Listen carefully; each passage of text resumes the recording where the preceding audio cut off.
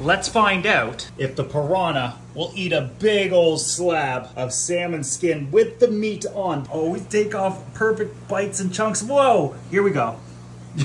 there they go. That massive chunk. I'm not sure if they're gonna eat the whole thing. It's definitely gonna take them a while, but look at the pack is out.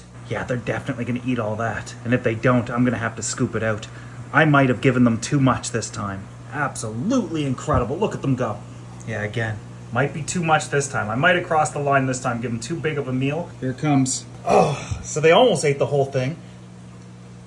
Not bad, guys. I know somebody who will eat it. Somebody in the 2,000 gallon must eat this.